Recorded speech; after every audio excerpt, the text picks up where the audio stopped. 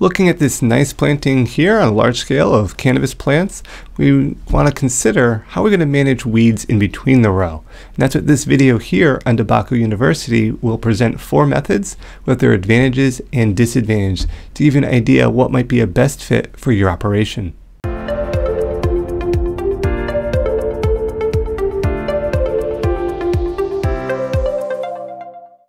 All right, let's go through and look at between row weed management in a cannabis field. So first off, we have the cultivation or stale seedbed technique. The advantages is that this physically cuts the weeds, and this can reduce weed numbers over the course of a season, and it can be applied on a small scale as well as a large scale. The disadvantages is that this can be challenging in rocky soil because you're trying to disturb that top layer, and it needs to be done on a regular intervals to really be effective. This can often be offset by weather events, particularly rain, uh, to reduce its effectiveness. Then we get to herbicides. So the advantages of herbicides is that they're a very time efficient method. Go through, spray, and kind of walk away.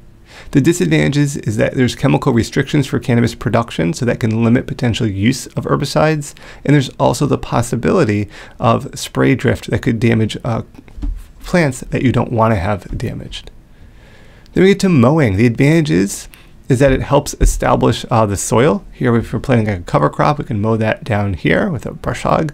Uh, the disadvantages is you need to make sure that the species are a good match and not necessarily just weeds, but intended for potential benefits. If we're looking at in between rows, if we plant a nice established, nice good grass species, yes, we can mow it, and that might be a really good option. We don't just want to just mow quote weeds that we didn't intend on planting, because that could potentially still build up high weeds in our fields. And then lastly, we have a physical barrier.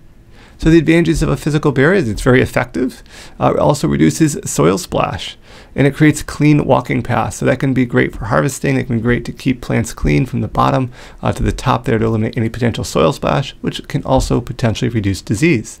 The disadvantages is that there's initial cost uh, with this setup and the setup time uh, in ensuring that the um, physical barrier that you're laying down doesn't get windblown, that only will reduce its effectiveness, but could also potentially damage the plants that you're intending on protecting.